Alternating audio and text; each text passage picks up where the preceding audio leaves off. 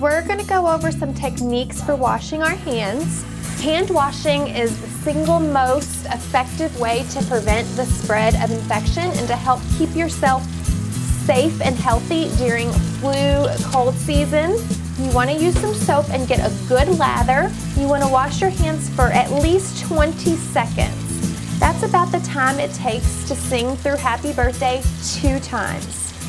Pay particularly close attention to places like the webs of your fingers, up by your nails, the palms of your hands, the wrists are places that people sometimes forget.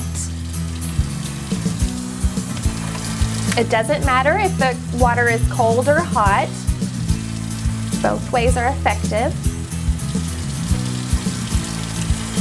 When you're rinsing, you want to be sure you rinse thoroughly and keep rubbing the hands. That helps for the germs to be removed.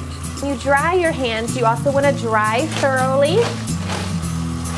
A paper towel is the best way rather than using a dishcloth just because it helps get rid of the germs more effectively.